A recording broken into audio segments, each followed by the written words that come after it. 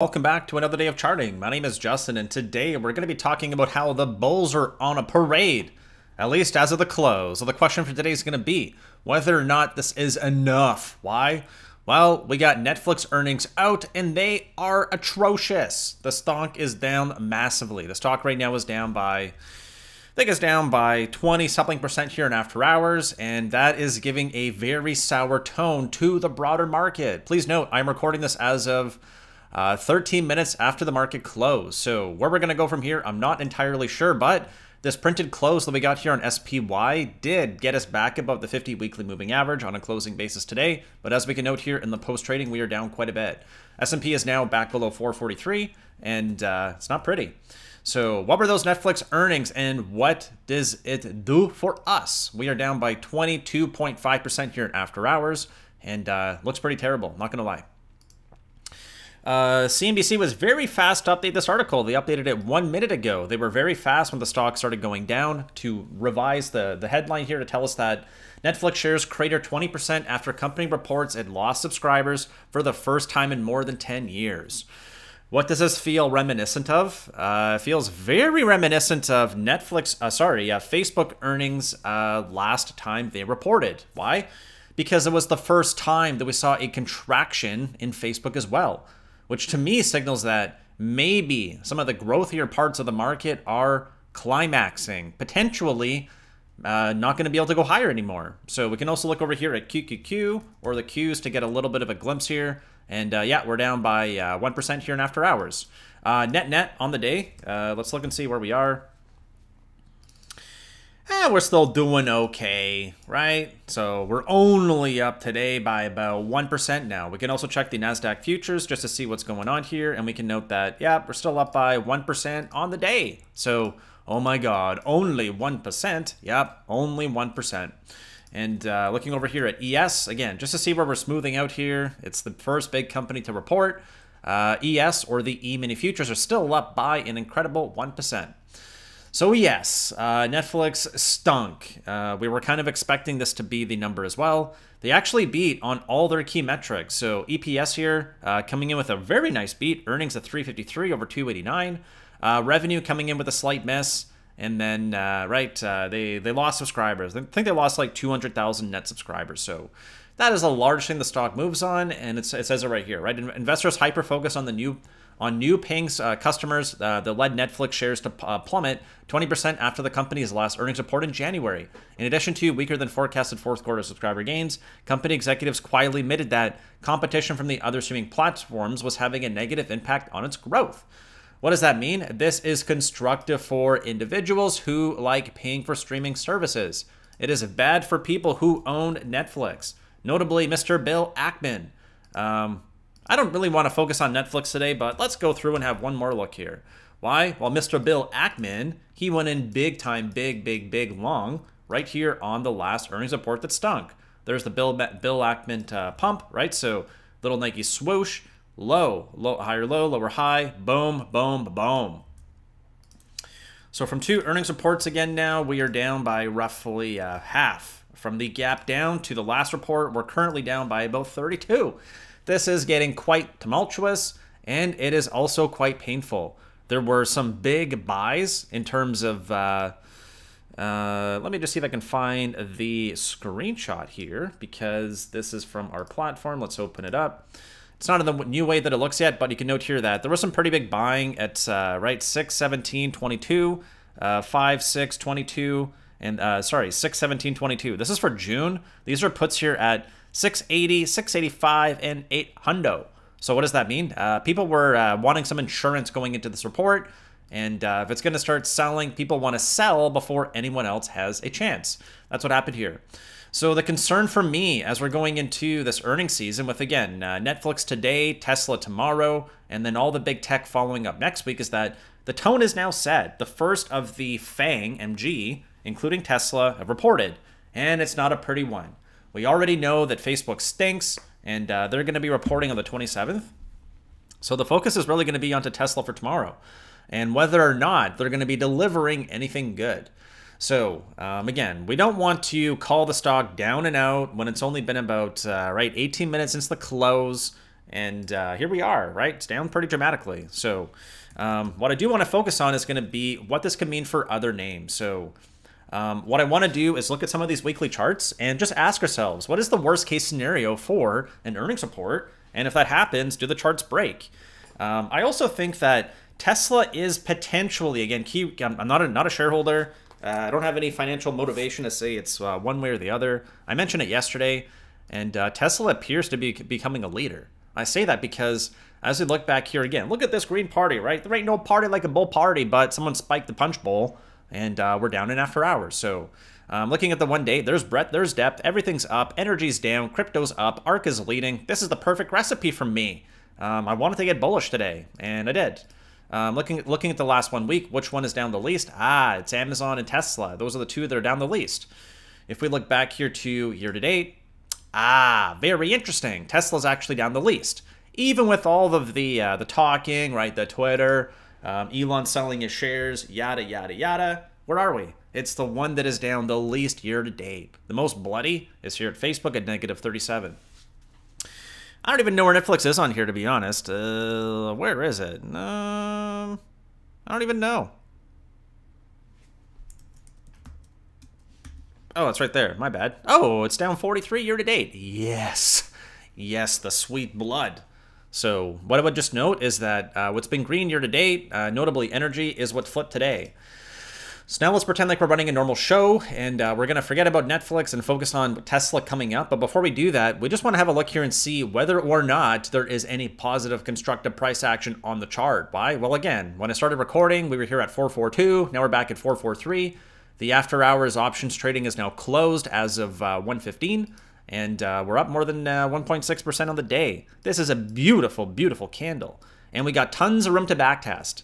The most important level for me is going to be where we close out on Friday, whether we're going to be above or below this most important number here at 444.26. When we recorded the video yesterday, we were talking about how the options were implying 443 for break even. Well, we got above that, we squeezed even higher, and uh, if we were closing at 443, I would say that's bullish, right? We're just below that 50 weekly. We're well above the 50 daily, and this looks really nice. So uh, let's have a quick look here at the earnings whisper report for uh, Tesla. We have the wider report too, but I don't think we have to really look at that one here. So again, 241 divided by 227 means that we're looking for roughly a 6% beat here on Tesla. But remember that Netflix uh, actually beat on earnings and slightly missed on revenue, but it's largely due to the subscriber growth. So, in terms of Tesla, um, again, reporting on 420, Elon Musk will be happy, right? Reporting on 420 uh, at 410. I will wait until after this is out to record the next video. And uh, I apologize if the video's getting up uh, or a little bit uh, slow lately. Honestly, it's just taking like hours to process these videos on YouTube. So I'm switching to a 720p recording to hopefully fix some of that issue out. So the key dates now. Uh, I think the Fed is more important than Netflix here. And uh, when we heard uh, James Bullard today say that um, 75 basis points was initially in my base case, uh, because there's no way we can get to 300 without that. There's only so many meetings per year. He walked that back today and said that actually it's not in my base case anymore. That's part of the reason why the market ticked up so high. Um, we also had a pretty broad-based risk on sentiment for ARK, And uh, I think the rest of the world was also waiting to see what was going to happen. I say that because the European market, the DAX in Germany, was in a doji, uh, down by roughly uh, 0.6, 0.7 at the open for the cash market in the US. And then it pushed up to close down by uh, seven bips, right? Seven basis points. So $10 on a $14,000 stock, which mean which means the US dragged it up. So I personally think that um, with Europe saying that we're going to be, uh, right, it's not really time to be talking about tapering. Uh, China said that um, we're likely going to be easing more. There's some trouble in their economy. And uh, I think that is going to be hurting uh, U.S. stocks because the dollar is going to go up because, well, if it's not time to talk about tapering in Europe, uh, time to buy uh, the DXY, also time to buy TNX. And uh, we note that here, right? Another update. So TNX is up, um, DXY is up. And I think the reason why is because if we're going to be seeing easing out of China, it means that the dollar is going to be going higher. And then if we're going to be seeing uh, slowflation or um, no talk of tapering in Europe, The 10 year note has to pretty much keep going higher. So, what we're doing right now is climbing the wall of worry. And there's always something to be worried about. I'm sure there'll be some comments today telling me that, oh, you're so silly for being bear, blah, blah, blah, blah, blah. Um, but look here, right? Fear and greed um, going into the close is now back into neutral. So we throttled back down into fear. We're back into neutral. Where will we be tomorrow? I don't know. I don't know. Uh, but uh, I'm personally seeing the bull start to flex. So if it's going to be enough, let's now answer that question here. Um, it will be enough if we are holding the 50 weekly moving average on a closing basis. Why? I did not think this was going to happen, but if we look here, this is a bullish engulfing candle. If uh, look really close, right? I mentioned this. Uh, I said I don't think this is going to happen, but usually what'll happen in a trap is that we print a lower low, so the bears are like, "Oh, stupid lower low and lower high. These bulls are silly. We're gonna go lower." Uh, nope. Um, we actually gap down, push down, pumped up, and engulf the entire previous bar. Whether we hold or close at this current area at 445, I don't know. But the low is lower, the high is higher, which means we engulf the whole trading range from last week in what? In two days. And uh, tomorrow is 420, so hopefully we can get a nice little green day. And it will be enough if we're able to close above uh, the 50 weekly by Friday. That's going to be four, three more sessions Wednesday, Thursday, Friday. If the Bears are going to take control, uh, this Netflix down move is nice, but it's giving up less than half of today's gain. So as of right now, this pattern is holding, it is intact, and it is the most important chart for moi. Why? Big tech earnings are in focus, and with a bullish pattern, with it reapproaching the 50 DMA, and with an inside bar tomorrow, what does that mean? Well, once the inside bar is formed, the next bar break, bullish or bearish, will be the decisive one. So we're probably going to open with an inside bar on QQQ tomorrow, and uh, I don't know exactly where we're going to go. We fall below 334.15, right? Uh, Bears uh, notching a little bit of a win. If we manage to get above the 50, what does that mean? Well, it means uh, the 50 daily is holding, and then we got to get uh, a push up here to the 50 weekly, which is at 360, right? That's a lot higher, um, which means that S&P is likely going to um, hold the 50, and advance closer to that 454 area right here. So again, that comes from our head and shoulders neckline at 454. So if uh, QQQ can make some progress over its 50 daily, get inside the gap, and then make a, make some progress towards the 50 weekly moving average, that tells me that we're likely going to get the test up here at 454. Um, what we do on here is anybody's guess. Um, if QQQ cannot clear this 50 weekly here, at uh, 363. Again, the number over here corresponds with the color of the line. Um, we're probably going to backtest. How far? I don't know. Let's not get ahead of ourselves. So here we go, right? It's nice and green as of the close. We'll see where we are tomorrow. Um, nothing's really changed for me, in my opinion. Uh, Tesla is way more important than Netflix. I just think that if people wanted to have a sour reaction to earnings, they got it. They're like, oh my God, all the earnings are going to suck. Remember last report, it was only Facebook and the high growthy names. So we already know Face Stank is reported to miss on earnings again, which means that it's peak Facebook. It's not peak internet. Um, that's what I think. So the question regarding uh, Netflix is, is this peak Netflix or is it peak streaming? I am personally diversifying beyond Netflix. I've signed up for Crave, which is HBO and Show, uh, Showtime. I've signed up for Paramount, and I have Netflix. Why? I want all of them. I'm diversifying. I haven't canceled Netflix, but there's not really a compelling reason to stay on either. Um, so that's where we are. It's tough for content, and uh, a lot of companies are pulling content off uh, net, net, off of Netflix right now. Um, it's already been a longer video, so I have to start wrapping up now. I don't have my timer, so I don't even know what time I started recording. Uh, looking forward to here. So 454 pivot still is. Bulls are currently uh, right uh, winning this one a little bit. There's currently no edge. I don't know, right? There's no wedge. We got to see where the weekly candle closes. And then earnings start to confirm it today with confirmation coming by the 28th when we have Microsoft, Google, Facebook, Amazon, and Apple all reporting. Remembering that uh, Apple here is expected to be, again, expected, not confirmed, to be doing a $90 billion buyback. So that would definitely add some wind into the sails for the Bulls as we are winding down at the end of the month and winding down the end of earnings season. Why bull or bear? Well, uh, dip into earnings, easier to rally. Does not mean we will rally. So again, Netflix setting the tone, coming out first. I don't know, right? It's not really great. Um, it's one company. It's not the end all be all. I was already a little bit skeptical of uh, Netflix, so here we are. Got a big negative overhang. If people want to sell, they'll get their chance to tomorrow. 454 impenetrable fortress for the Bears. Yep, so far it is. DXY TNX breakouts, check. Recession risk, that one, uh, not so much. Tech leading the decline. Thank you, Netflix. Appreciate you. And then uh, surprises. I think Powell's actually, uh, actually, I don't know what he's going to say.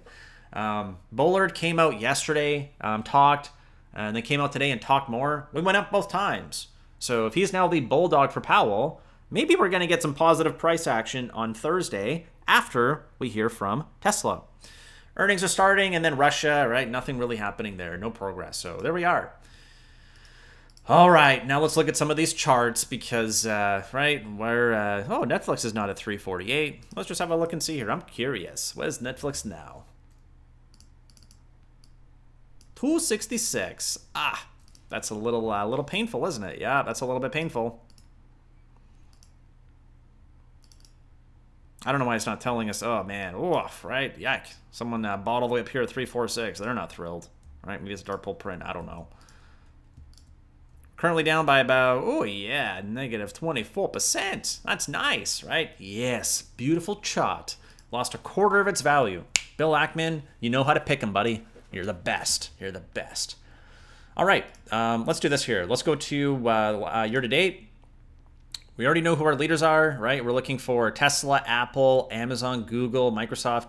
You notice how we never talk about Netflix anymore? It's because they don't really matter as much. I think NVIDIA is more important than Facebook and the Netflix. So um, looking at the charts here, we can note that the trillion dollar companies are actually treading water because they're not down by 10%, which means they're not bright red.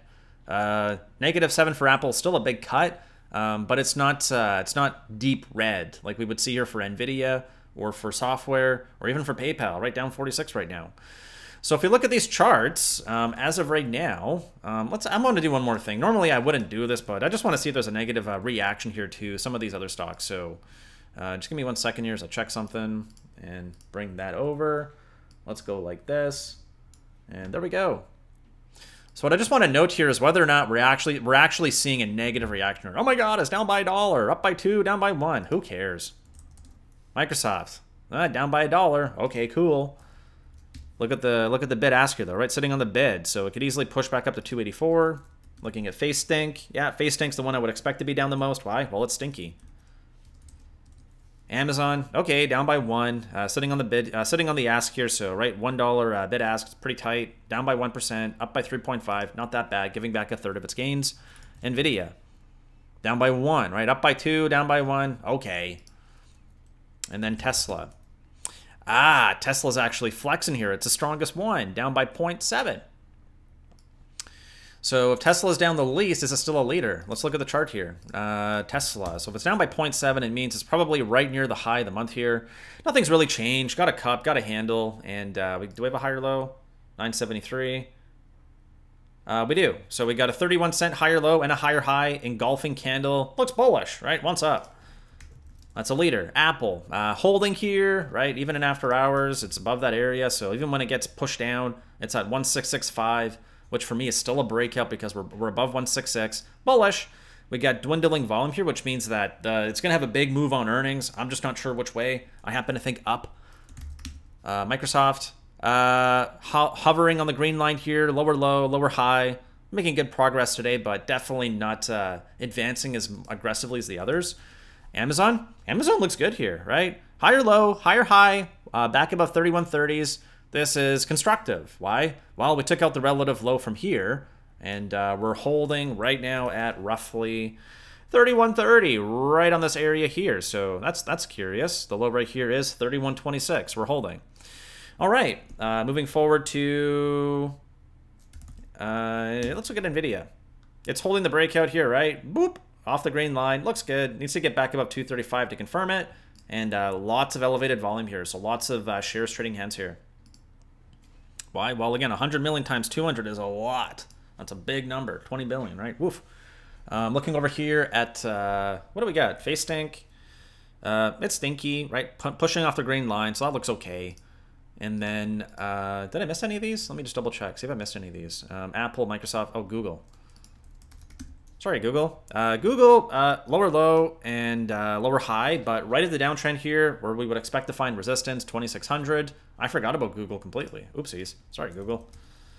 Maybe if you pro processed my videos faster, I would like you more. Uh, no, no, no, no trades, but it's down here at uh, 2586, so it's down a little bit. Not a big deal. Just noticing that it's down, and uh, still in a consolidation pattern. This is a bear or a descending triangle, so a little bit more bearish uh, but not confirmed yet.